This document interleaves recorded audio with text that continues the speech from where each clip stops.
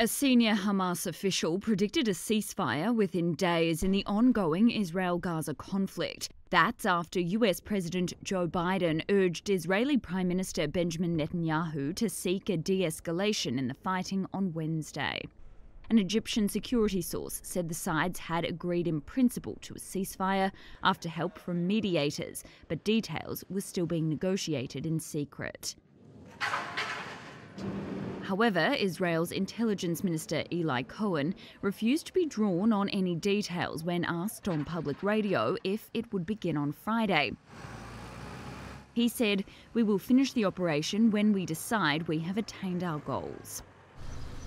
Netanyahu has said Israel wants to achieve forceful deterrence to dissuade Gaza's ruling Hamas Islamists from future confrontation. Since the fighting began on May 10, Palestinian health officials say 228 people have been killed in aerial bombardments. Israeli authorities put the death toll to date at 12 in Israel.